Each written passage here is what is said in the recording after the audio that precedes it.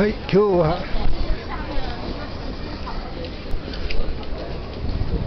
今日は11日ですね。4月いやーなんかここ最近の疲れが出てずっと寝てま、はあ、6時ぐらいまで5時ぐらいまで寝てました。こんなんでいいんでしょうか。いいわけないですね。明日また横浜に展示会行ってきましょうかね。展示会行ってはカタログを大量にもらって勉強して駅に置くという。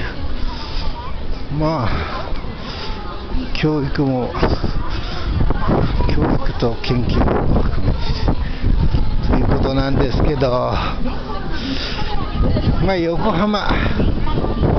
あんまりあれじゃないですけど見たことないですけど。なんか高校の時高2の時に横浜行きましたね。なんか遊びで。学校の行事で横浜行き行きましたね、はあ、もうこの話しましたか。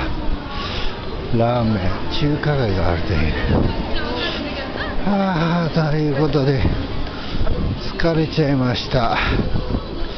金型で疲れちゃう展示会っていっぱいゴミが出るみたいで、この間、えー、土曜、金型の展示会行ったら、あの裏口に、裏口の深夜の、深夜出入り口から入って、出て、ゴミ置き場がちょうどあったんで、そしたらあの金型の終わったやつがいっぱい落ちてました。で、コインのメダルみたいな形のが、あったんで、それ拾って帰りましたね。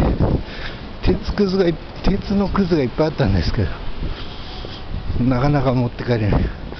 重すぎるのと、ちょっと危ないので持って帰れなくて。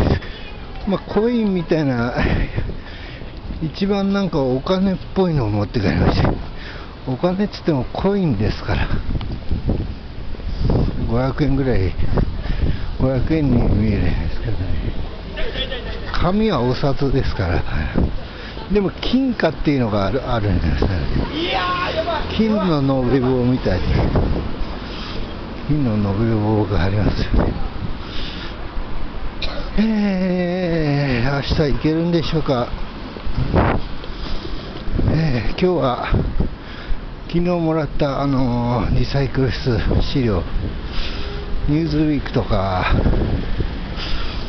東洋経済